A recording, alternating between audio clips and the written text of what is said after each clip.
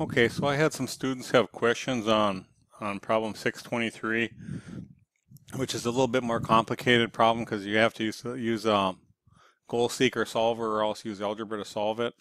So by the way, I got this problem from this book right here, M Finance by Marcia and Cornett, the third edition.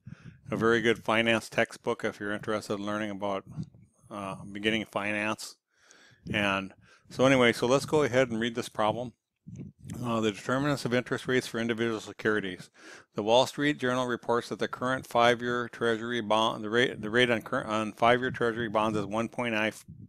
The current rate on five-year Treasury bonds is 1.85 percent.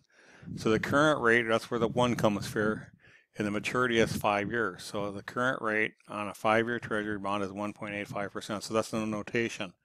And the current rate on a one-year 10 Treasury bond is 3.35, or a 10-year Treasury bond is 3.35%. So the current rate on a 10-year treasury bond is 3.35%. The maturity premium 0%. Maturity risk premium. We want to calculate the expected rate on a five-year treasury bond purchased five years from today. So five years today, a five-year maturity treasury bond, what do we expect to earn on that? Okay, and in order to do that, we're going to use the unbiased expectations theory. And according to the unbiased expectations theory, this is just an example. The return for holding a four-year bond to maturity should be equal to the expected return on investing in four successful, four successive one-year bonds. So in other words, um, in this case, uh, this is a five-year bond, and this is the this is the the yearly yield for a five-year bond.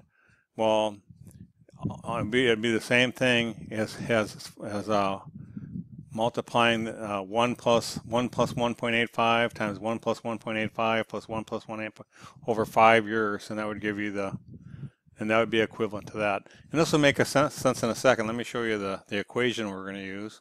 So we're going to use this equation right here. In fact, we're going to use equation 166. And so, it's, so we're going to plug in, we're going to do the left-hand side and the right-hand side of the equation. So I'm going to plug in this left-hand side first. So I'm going to say this is equal to 1 plus, and then I'm going to, for n, I'm going to use 10. Okay, so 1 plus this to the 10th power, right? So this is 1r10 to the 10th, just like it has here, 1r10 is, is this to the 10th power. Okay, and let me put the formula in here so you can see it. And on the right hand side, I'm going to plug in this. And that's going to be equal to parentheses 1 plus this. But see, this is a five-year bond, so I have to multiply it times itself five times, according to unbiased expectations theory. So that's just that that times 2r1 times if I expected 2r1, and, and that's all going to be equal to that. And then finally, we have we want the answer, right? We want the we want this part of the equation, the, the last few terms, and that's going to be 1 plus, or what our answer is going to be, what it's going to. We're going to guess something in here. Maybe we'll say 2% to start, and that's also going to be to the fifth power. Cause that's, cause that's, uh, cause that's all, you know, this, this is this is five years from now, five years. So it's the fifth power because you have to multiply it times itself five times. Just like you had to multiply one plus this times itself five times. Okay? And then I'm going to hit enter. Let me copy this formula over. And we'll just guess this for now. So I'm going to say 2%. I don't, that's probably not the answer. But in order for this to be an equality, see we have an equal sign here, this has to be equal to this. So one way I can see if that's equal to that, if I subtract the two, if you subtract the two, if I go um, this minus this, well, if they're equal, what should this answer be? It should be zero, right? So I could guess this. I can go 1%. I can go 2%. I can go 3%. 4%. So I'm getting closer to 0, 5%. Now it's a negative. So somewhere between 4 and 5. I can keep guessing it, which will in turn, remember, remember uh, this, whoops, this right here is this, right? So I'm changing this answer. Okay. So so as I so as I change this, I'm going to plug in something different here, and then as subtract these two. So this kind of seems kind of complicated, but I basically I want that to be zero. So know, so I, I can make Excel guess instead of going back and forth. And one of the best ways we can use it, we could use something called GoalSeek. And I was thinking I was going to use Solver, but we can probably get away with GoalSeek here. So I'll just show you how to use GoalSeek in this problem. So I want this to be equal to zero. So I want to set this cell, I want to set this cell to the value of zero by cha changing whatever I'm guessing here. And if I go, go okay, you'll see this change, and it changes to 4.87%. So I'm going to go here, uh, used, used, oh, use GoalSeek. So there's another program called Solver, but this one will probably get us close enough. So that's one way to solve it.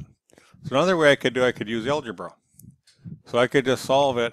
We know the left-hand side is going to be equal to, so I'm going to solve it using algebra, and I know the left-hand side is equal to this. So I'm going to say it equals uh, parentheses 1 plus this to the 10th power.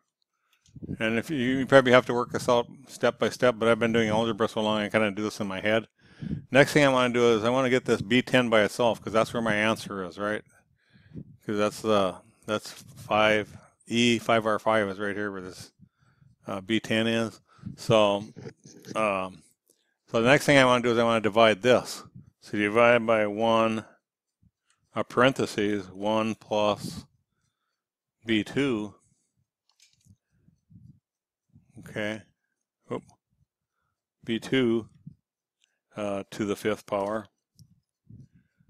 And then finally, I want now I have this by itself because I already I already divided this over here, so I moved that over to the left hand side. Now I got to get rid of something, get rid of that to the fifth power. So I'm going to take this whole thing, and I'm going to take it to the parentheses one fifth power. So that removes the fifth power, and finally I got to get rid of this one, so I'm going to subtract one. And now I have B10 by itself is where my answer is. And, and remember B10 is right here, right? That's my answer. And then if I hit enter, I get the same answer. Okay. So that's the way to do it with uh, with algebra. So anyway, that's, um, if you don't like the algebra, if you, if you could understand what I did there, uh, that kind of helps a little bit. I know this a little bit, first of all, you have to figure out how to plug that into that formula. And then either you got to do fancy algebra or you got to use GoalSeek to solve it. So it's a little bit of a tricky problem, but hopefully that helps. Uh, uh, there's another way you could do it using Solver, but I think I'm not going to show you in this. The video is already eight minutes long, and I don't really want to take any longer than that. So uh, hopefully that helps. If you like this video and you haven't subscribed to my channel, a picture is going to come up here. Click on my picture, and that, that subscribes you to my channel. I'd appreciate a subscribe. Um, yeah, if you if I get enough subscribers, that makes it worth worth my while to uh, continue to produce these videos. So thank you. Bye.